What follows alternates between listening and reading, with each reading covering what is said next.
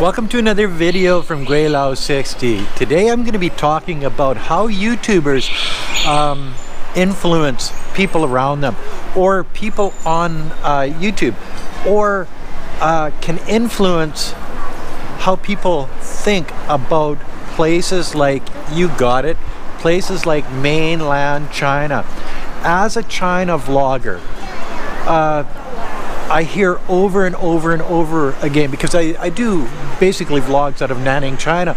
People saying, you know, I never would have traveled to, to Nanning, but now it's on my uh, on my list, my bucket list of places to go. Uh, I never thought I would travel to Nanning, but I have because of your videos and showing you the streets of, of Nanning. But it goes further than that. It's it's one of those things that uh, we can have political influence, both pro-China or anti-China, depending on how you look at it, how you look at the world. Uh, with with uh, mainstream media being what it is today, and and really shitting on China, just like you, you every every news article I've read or heard on the news from Fox and CNN and CBC and BBC and you name it has an anti-China sort of lean to it. And uh, being a, a, person that really, really likes China uh, and the way things are run here, I, I look at that and I think, you know, that's not fair. So what I try to do in my videos is even it out. I know my small YouTube channel can never even out the bias that mainstream media is giving the world to see. You know, they they they do these things for po political reasons. Uh, you know, Fox News is is basically uh, uh, Republicans. Uh, CNN is basically Democrats. CBC is always liberal, and uh, these people have no love for China one way or the other. And and uh, as a YouTuber, I, I try to smooth it out as much as I possibly can. That brings me to Saturday morning. Yes, Saturday morning for content creators. Jayoe Nation, Matt at Jayoe Nation, uh, Alex from Reporterfy Media, another Alex from Alex Absolute, and yours truly, Gweilo 60, are going to be talking about this exact topic. How China YouTubers can sort of influence the, the people that watch our, our, our videos not only watch them, but uh, how we can sort of portray because in in uh, in China now, uh, China was a big tourist country. A lot of people came to see, uh, you know, the Forbidden City. A lot of people come to the Great Wall or the Tomb of the Emperors. A lot of people go to Guilin and Beihai and you know the Karst Mountains and the Li River in Guilin, and uh, you know the the South China Sea down in in Beihai. A lot of people have come to China because China is the Middle Kingdom, and uh, use it as sort of a tourist uh, place with all of the bad press that, that China's been getting over the last three, four months, uh, tourism to China is going to be sort of thwarted. And uh, I don't see that it has to be that way. Everybody's got a hate on for China right now around the world. And uh, how, how, how are we going to be able to influence people to come back to China uh, because it's a great place to travel to. It's a it's an amazing country. It's got sights and scenes that you've never even dreamt of. It's got food, it's got culture, it's got people. It's got big cities and rural areas. It's got all of that stuff. So when mainstream media says China China is bad because of this. Oh, China's polluted. China has an authoritarian government. Uh, China uh, doesn't like the Uyghur population. China eats dogs. Well, actually, they do eat dogs. I, have I've, I've been to Yulin. I've, I've, I've seen the festival. I've uh, actually there's a dog meat restaurant about two blocks away from where I live here in Nanning, and uh, you know, but so they they try to portray all of this stuff as really negative stuff and and uh, but you know, eating kangaroo in, in Australia is okay. Seems like it's just a dog that hops higher, you know what I mean? You know, people people have approached me, uh, Swedish television, German television, Wall Street Journal. You got it. Wall Street Journal wanted me to do uh, uh, an interview with them. Turned it down. Can't trust a, a journalist. You know how I think about that. Uh, but CGTN, uh, China Global Television Network, uh, they uh, took one of my videos, put it on their Weibo account. It got over a million hits in in in, an, in, in one day.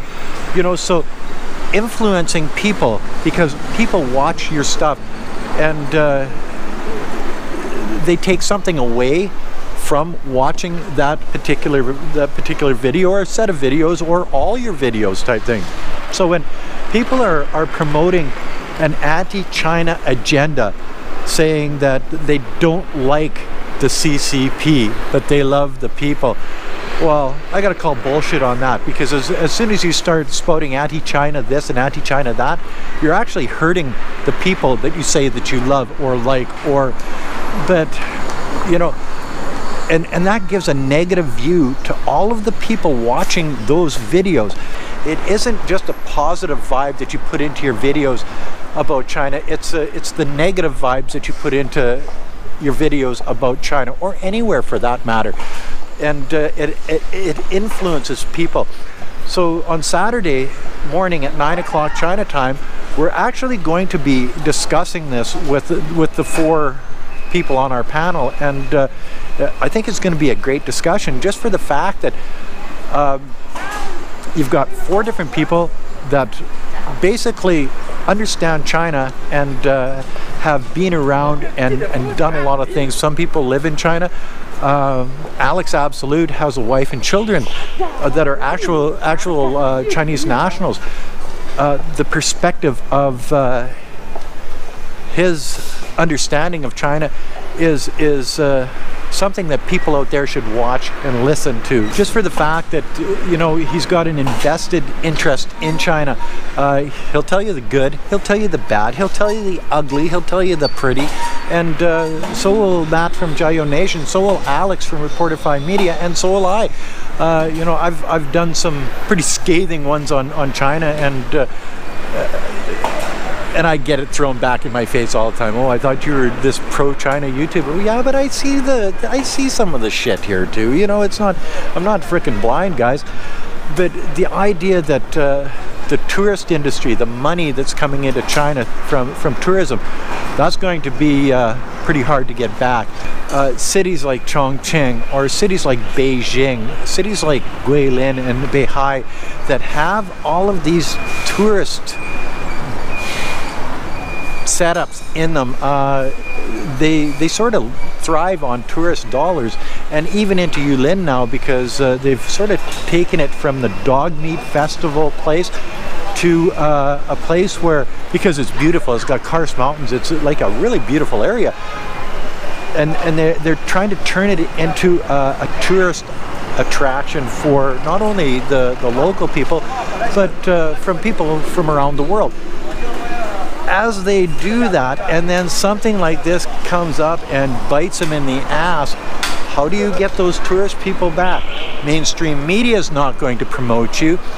Um, if a Chinese news station or a Chinese vlogger on YouTube, Weibo, Bilibili, uh, Toutiao, says, oh, China's great, this, that, the other thing, they're not going to listen to those people.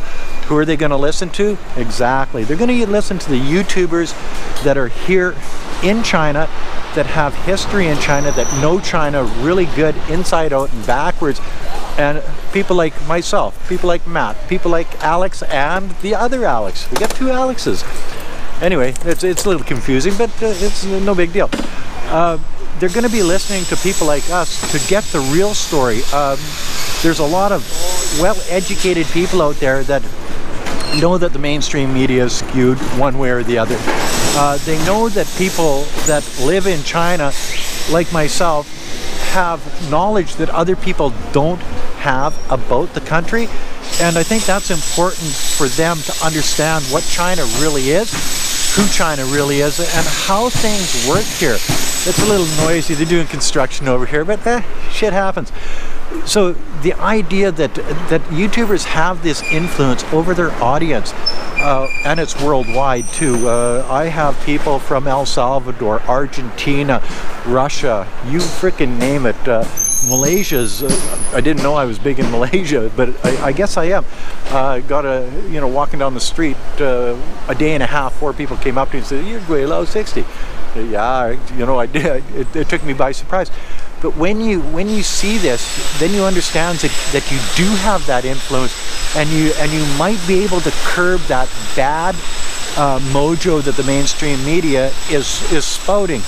And uh, if we get enough YouTubers living here in China telling the outside world that it's not like that, it's not as bad as everybody in the in the mainstream media puts it out to be, maybe we can do a little bit of uh, uh, good. Maybe we can lessen the damage that that these basically big turds, let's call them shits, uh, are are are doing to this this amazing country. And uh, remember, this uh, this live stream is China, 9 a.m. in the morning, China time. So uh, I'm not sure. I think that's 6 Pacific, 9 Atlantic. I know it's 2 o'clock in the morning in the UK. Uh, so tune into that because it's going to be an interesting one. Uh, whether you're a hater, and I know you're out there, I get lots of comments from, from you guys, or a lover of China, uh, you can you can show up in these live chats. You can uh, ask questions. You can you can assist us in uh, in our channels. You know because it's uh, everybody's out here doing it. You know on their own time, on their own dime, to, to make these videos, to do these live streams, to update you with what's going on in this in this crazy world that uh, that we live in, and uh, yeah, I guess I guess that's my spiel for today. So that's another video from Gweilo 60. If you like this video, as always, like, comment, subscribe, push that share button. Thanks for watching. Hit that bell. Make sure you comment. Uh, the more comments that I get, or the more subscribers I get, uh, the happier I am. You know what I mean? Anyway, uh, oh, Never forget to put a couple bucks in the children's Patreon account. It's for a good cause, guys. It's uh, for poor rural Chinese children. Uh, they just need a helping hand. We can give them that helping hand. Thanks for watching. Bye now.